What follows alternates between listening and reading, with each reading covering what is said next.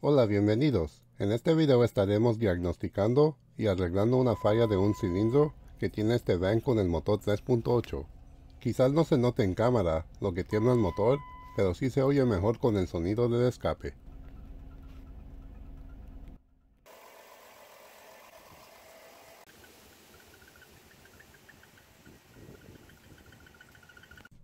y al revisarlo con el scanner nos sale con falla del cilindro número 4. Y lo primero que hacemos es localizar el cilindro número 4. Cuando los autos tienen 4 cilindros en línea, es fácil localizarlo. Solo cuenta los cilindros empezando con el primero en la parte de enfrente del motor. Pero en motores como este de 6 o 8 cilindros quizás sea más difícil. A veces los tienen escrito en el paquete de bobinas o quizás en el cable de la bujía, como en este caso lo tiene escrito el número 4. Pero en caso que tu auto no lo tenga escrito, puedes usar el internet con el tamaño del motor para encontrarlo. Y lo primero que hago es desconectar el cable de la bujía y sacar la bujía para revisarla usando un dado de 5 octavos de bujía y una extensión.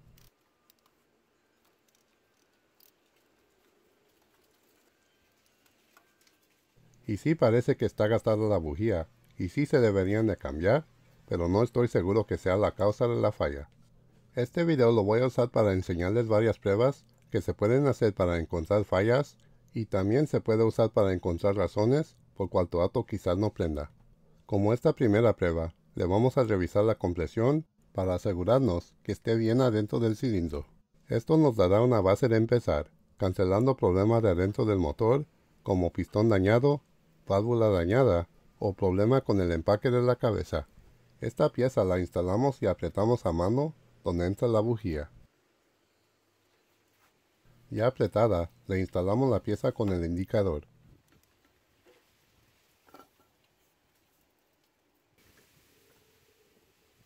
Ahora desconectamos la conexión que va al paquete de bobinas.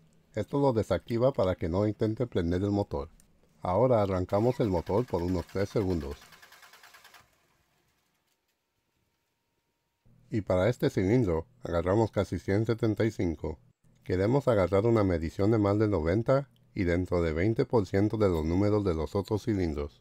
Y para comparar el resultado usamos otro cilindro del lado opuesto. Y el resultado casi igual, indicando que la base del motor está bueno. Esta siguiente prueba, tengo este probador de chispa y esta se la pongo al cable de la bujía y con esto podemos verificar que la bobina está mandando señal que encienda la bujía.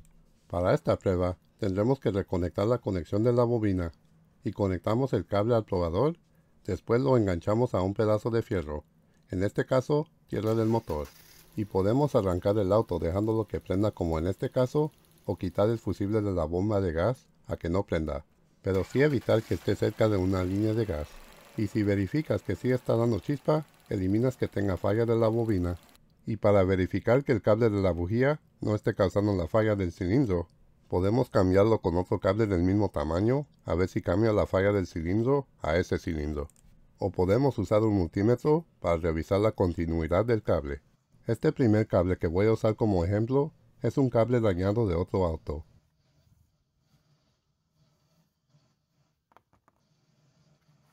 Y con el multímetro lo queremos tener puesto a medir resistencia ajustado a 20.000 ohmios. Este primer cable que voy a usar como ejemplo es un cable dañado que saqué de otro auto.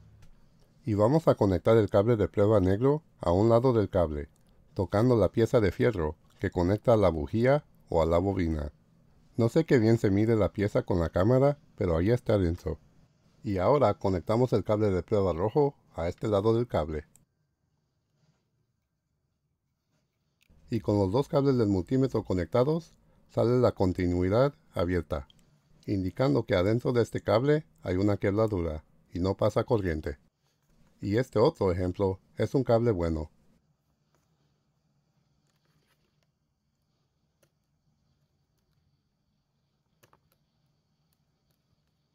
Y notas que nos sale a 7000 ohmios, que es resultado bueno por un cable que mide un pie.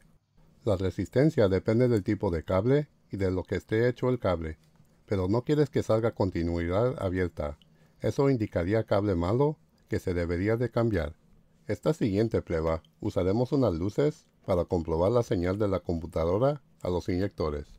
Este kit tiene una variedad de luces para diferentes tipos de conexiones y para usarlos desconectamos la conexión del inyector.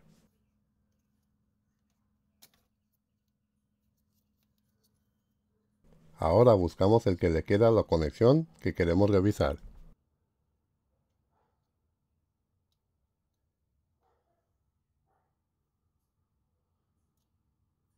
Ya puesto, arrancamos o prendemos el auto, y cada vez que prenda la luz, es señal de la computadora que rocíe gas el inyector al cilindro. Y si no prende o se queda apagada, es que no está recibiendo señal, sea por falla de la computadora, conexión dañada o más.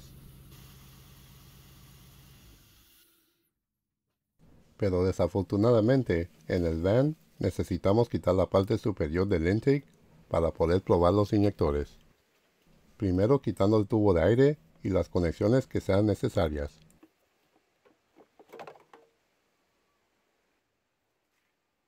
Los cables del acelerador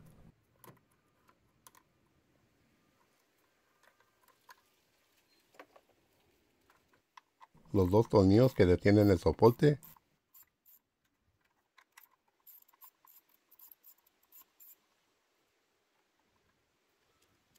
El tubo del EGR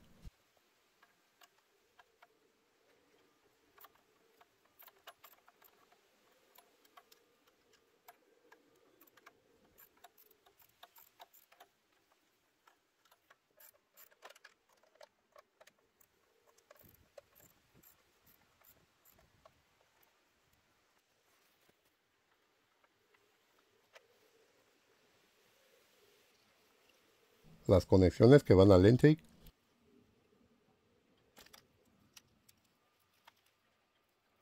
y las mangueras de aire que van conectadas.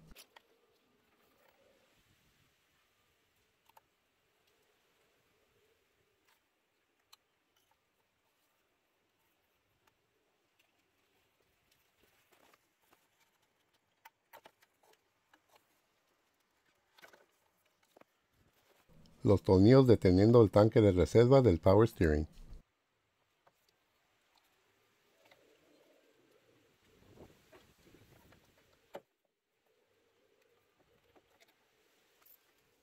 Y finalmente, los tornillos deteniendo la parte superior del intake.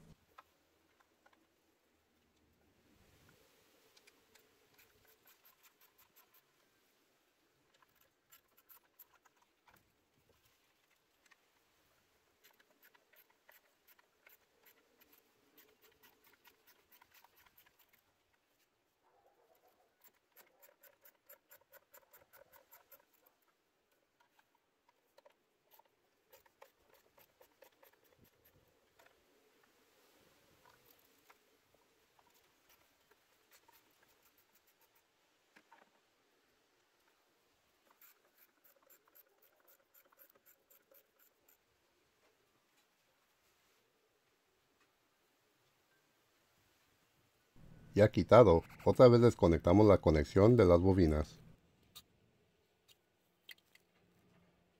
Y le conectamos la luz a la conexión del inyector y le arrancamos.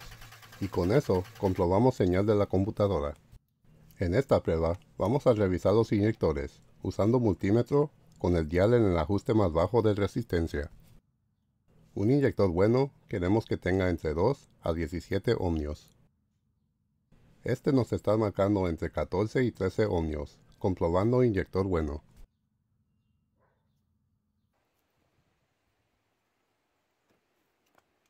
Y este del van nos indica 12 ohmios de resistencia, también inyector bueno.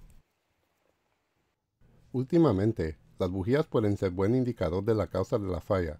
Por ejemplo, como si notan mucho gas en la bujía, indica que quizás el inyector tenga fuga y está ahogando el cilindro o si notan mucho carbón, indica que el cilindro y la bujía está quemando aceite.